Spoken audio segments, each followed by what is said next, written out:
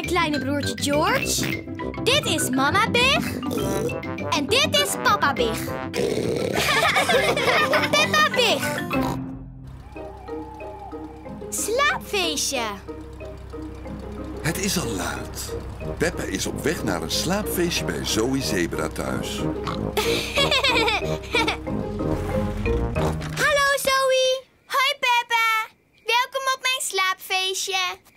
Ik haal je morgenochtend weer op. Tot morgen, Peppa. Dag. Kelly, Suzy en Olivia zijn er al. Hallo allemaal. Hallo Peppa. Ik heb Teddy bij me. Hallo allemaal. Zoe heeft haar speelgoedaapje. Oeh, oeh, oeh. Olivia heeft haar kikker. Kwak. Suzy heeft haar uil. Oeh, oeh. En Kelly heeft haar wortel. Wortel, wortel. Meneer Zebra zit televisie te kijken. Dat is beter. Hé, hey, ik zat naar iets te kijken. Maar dat was een beetje saai hoor, papa. Meneer Zebra moet nu gaan slapen. Hij moet morgen weer vroeg op om de post te bezorgen. Dat is waar ook, mama Zebra. Niet te lang opblijven. Welterusten, mama. Peppa en haar vriendinnetjes gaan in hun slaapzak liggen. Zoe's kleine zusjes, de tweeling Zuzu en Zaza, willen ook bij het slaapfeestje zijn. Dit slaapfeestje is alleen voor grote meisjes. Oh, ze zijn zo lief en schattig. Mogen ze blijven? Oké, maar dan moeten jullie beloven dat jullie wakker blijven. Dat beloven we. Wauw, een piano. Ik zit op pianoles. Luister maar. Twinkel, twinkel, kleine ster. Mag ik ook een keer? Alsjeblieft. Twinkel, twinkel, kleine ster. Oh, wat sta je hoog en ver. Sst, jullie moeten stiller zijn. Anders kan meneer Zebra niet slapen. Hup, vlug je slaapzakken in. Wat zullen we nu gaan doen? Op slaapfeestjes is er altijd wel een eetfestijn. Wat is een eetfestijn?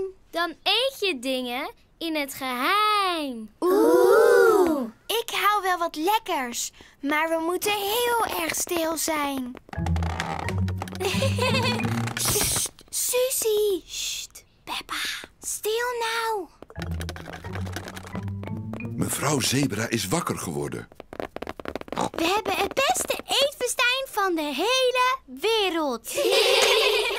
Wat is hier aan de hand? Jullie maken meneer Zebra wakker. Wie van jullie kan er een mooi verhaaltje voor het slapen gaan vertellen? Ik! Ik ook! Ik begin wel. Er leefde lang geleden een heel erg klein veetje. Nu ben jij, Peppa.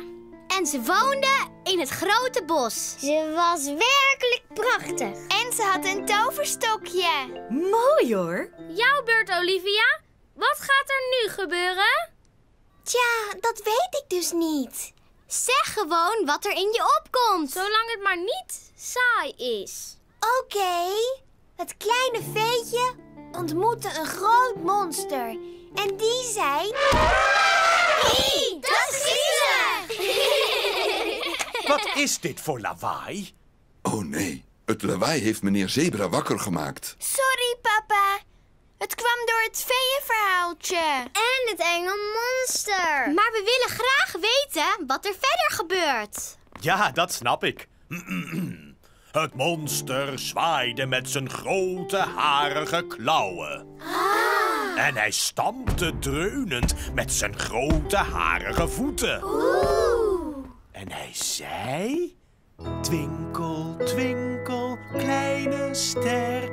Oh, wat sta je hoog en ver. Iedereen is in slaap gevallen door het liedje van meneer Zebra.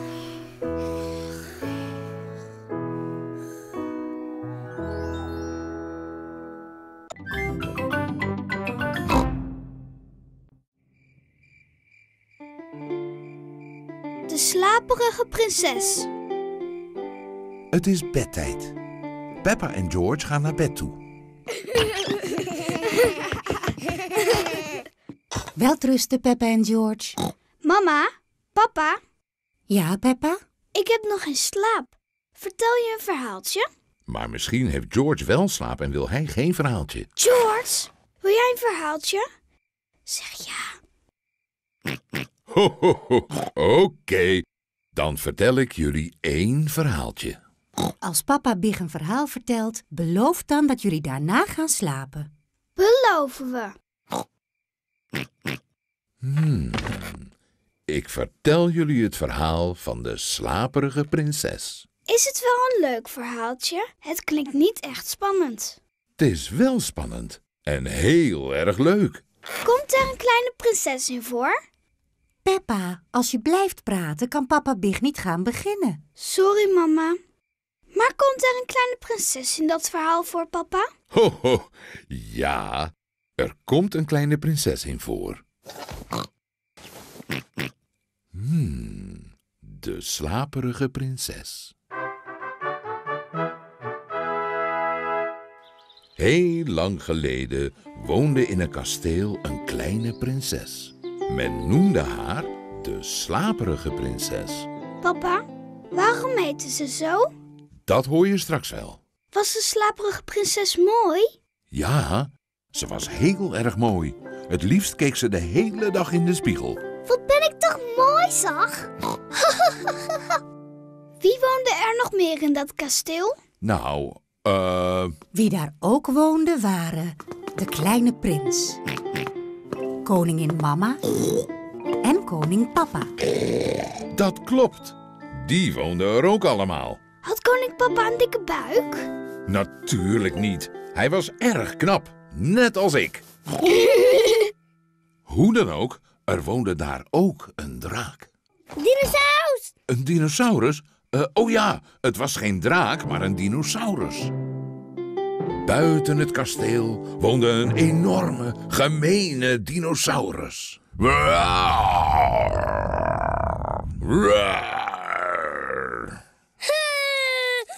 Oh jee, misschien was de dinosaurus niet zo gemeen, papa Big. Sorry, George. Nee, de dinosaurus was erg aardig. Hij at heel veel gras. Papa Big. Oh, sorry. Ik deed de dinosaurus na.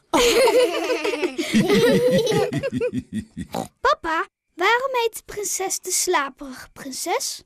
Dat hoor je vanzelf. Want kijk, de zon ging onder. En de sterren en de maan verschenen. En iedereen werd heel erg slaperig.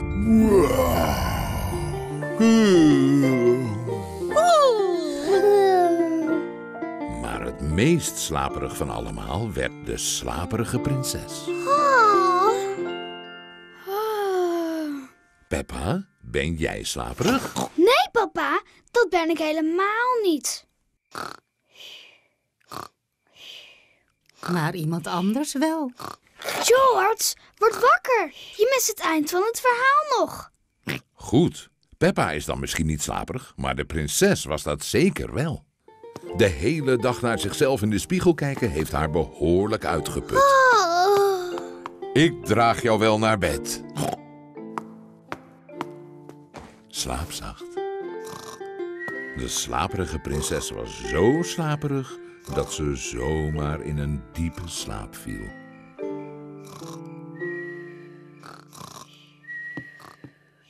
Bedankt voor het verhaaltje, koning papa. Graag gedaan, koningin mama.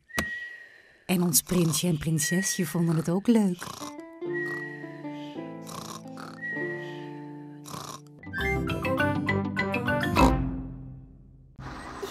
Schoolkamp. Peppa en haar klas gaan op schoolkamp. Mevrouw Gazelle, ik voel me niet zo lekker. De bus rijdt nogal hobbelig. Oh nee, Pedro Pony heeft een beetje last van wagenziekte. Arme Pedro, kom maar voorin zitten, bij mij. Zo, voelt dat al beter? Een beetje wel, ja. Mevrouw Gazelle, Oh, voel jij je ook niet lekker, Zoe? misschien voel ik me straks niet lekker. Mag ik dan toch alvast voorin komen zitten? Mag ik ook voorin zitten? Alsjeblieft. En ik ook. oh, het spijt me, kinderen. Maar jullie kunnen niet allemaal voorin.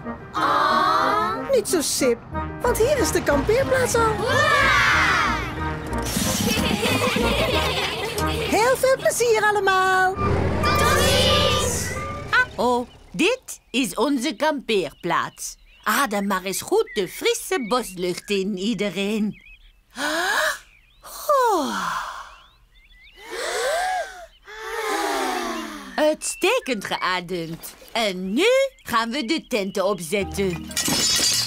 Peppa en haar vrienden gaan hun tenten opzetten. Luister eens.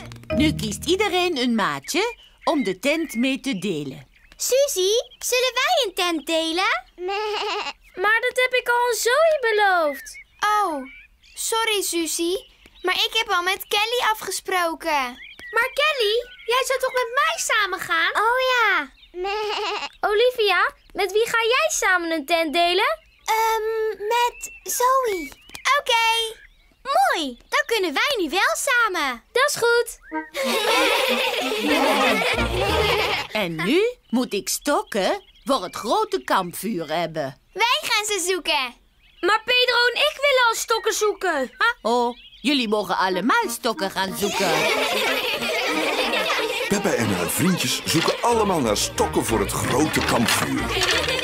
Goed gedaan. Het is avond geworden en iedereen zit rondom het grote kampvuur. Kinderen, zullen we een liedje zingen? Ja! Het bingbonglied, alstublieft. Oh, dat weet ik niet. Oh, Goed dan. Oeh, ik speel de gitaar en we zingen ons lied. Met een bing en een bong en een bing. Boom, bing, boe,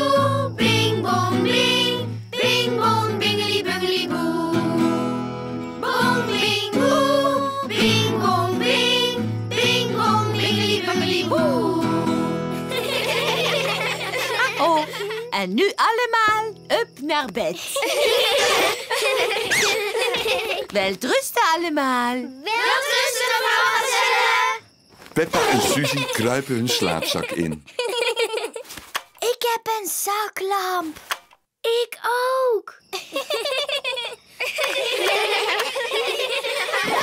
Alle kinderen opletten. Vanaf nu geen gegiegel meer.